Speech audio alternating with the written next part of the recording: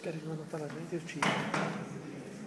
Scusate, come al solito io sono abituato a intervenire in piedi.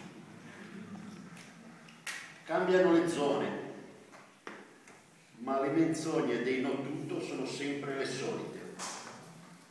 La loro non è una protesta, ma un format preannunciano irreversibili ma inesistenti danni ambientali e fanno del finto ambientalismo per perpetrare il loro obiettivo anti-tutto e anti-sviluppo.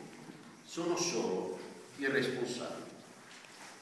Queste sono le parole pronunciate alla vigilia della stupenda manifestazione di sabato, una manifestazione di gente, di bambini, la cosa più bella secondo me erano i bambini, fatta da Agostino Ghivia, che è il vice coordinatore regionale del Piemonte del PDL. Questo per significare che in questa lotta non esistono i buoni da una parte e i cattivi dall'altra. Comunque sia, è una lotta dove ci dobbiamo confrontare con un fronte che è trasversale, anche se da altre parti non ho mai sentito pronunciare questi termini e queste parole nei miei confronti. Ora io sono dello stesso parere di Pasolini. Io sono contro lo sviluppo, contro lo sviluppo drogato e la dimostrazione è sicuramente sotto agli occhi di tutti al giorno d'oggi, no? uno sviluppo che ci ha portato a una crisi, che porterà sicuramente la Grecia, la gente, i lavoratori della Grecia, le famiglie ancora più povere di quelle che sono, che ci sta tentando di trascinare un'altra buona parte dell'Europa in questo turbinio nero e oscuro. Sono invece per il progresso, perché il progresso è fatto di lotte di uomini, di donne, dei loro bisogni, delle loro necessità.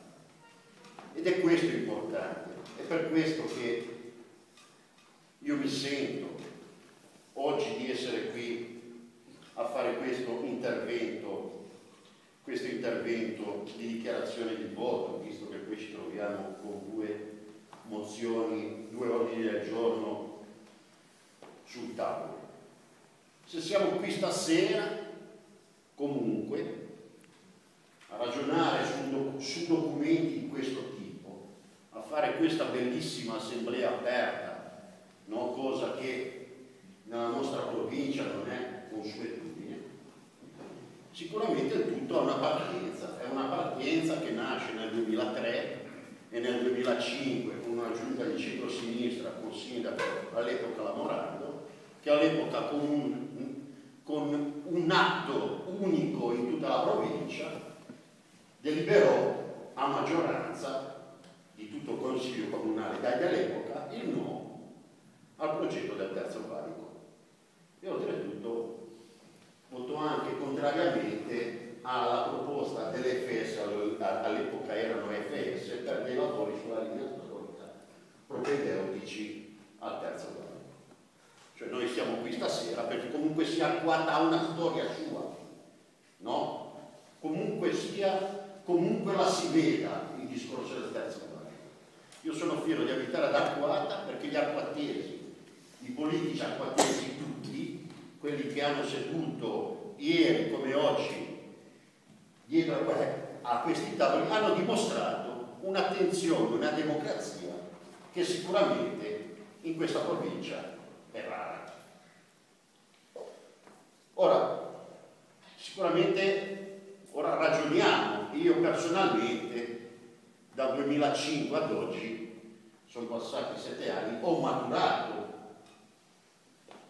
una consapevolezza diversa e vedo comunque sia un, di, e sento di dare una risposta diversa al progetto che ancora una volta ci propinano. E allora possiamo partire sicuramente, che ne so, dall'amianto. E dall'amianto si può dire di no, no? A quel signore che dice che noi siamo no tutto, no?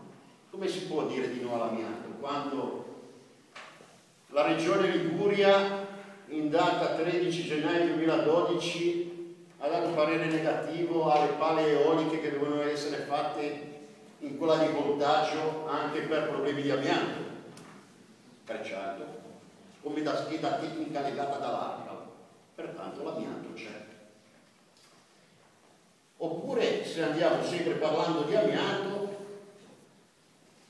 perché poi il bello è che al giorno d'oggi si fa su internet, cioè non è come una volta che bisognava andare in biblioteca, sapere i volumi, mettersi lì, sapere da leggere, tirare.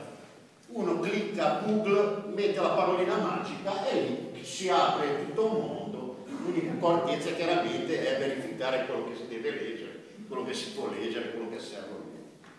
Ad esempio, sempre sull'amianto abbiamo ARPA Piemonte, uno studio che ricorda che in Vallemme dal, più o meno dal 1940 esatto, arrivare fino ai primi anni degli anni 50 sono state, sono state fatte, è stata fatta richiesta di eh, ricerca di amianto perché in zona c'è amianto, come dice l'ARPA, chiaramente come tutte eh, eh, le cose economiche, non era economicamente sfruttabile, nel senso non, non, non era quel quantitativo che il gioco valeva la cena. Eh? Certo, certo. Pertanto, queste sono due domande che noi poi poniamo a quel signore, a quel, a quel Biglia, no? Sull'amianto e attendiamo, attendiamo, sicuramente, attendiamo sicuramente risposta. Per poi c'è la valutazione, eh, eh, c'è stata venduto questo pro, il corridoio 5, Lisbona, Kiev, Genova, Rotterdam, eccetera, eccetera. Allora, corridoio 5 è morto, nel senso che i portoghesi con la palavola, gli spagnoli anche, hanno detto che loro non ci pensano nemmeno a iniziare. I francesi non so se hanno iniziato qualche lavoro, no? pertanto il famoso discorso del corridoio non esiste più, quello orizzontale. Per quello che riguarda il corridoio verticale Genova-Rotterdam, non siamo a conoscenza di nessun treno che parta da Genova e vada a Rotterdam. Vogliamo anche a Parigi. No? Nel senso che eh, se viene fatto, viene fatto a nostra insaputa, nel senso non abbiamo nessuna traccia di nessun carro contenitori che parte da Genova e abbia la necessità di arrivare a Rotterdam. Anche perché se fosse così, se fosse così, in questi dieci anni che il progetto aspettate di essere fatto, all'imboccatura dei giorni, come ci diciamo a Genova, ci sarebbero i contenitori amontonati? Nel senso, i contenitori non ci sono, anche perché i contenitori sbarcati nel porto di Genova nel 2011 sono 1 milione e 800 mila Dovete tenere conto che in questi dieci anni di mancato progetto del terzo valico i porti vanno avanti. È stato, è stato messo in atto il sesto modulo di Vodri con una capienza di 500.000 contenitori e il prossimo anno entrerà in funzione il tombamento, così si chiamano il porto e i riempimenti degli specchi acqui, della Bettono per un altro spazio di altri 500.000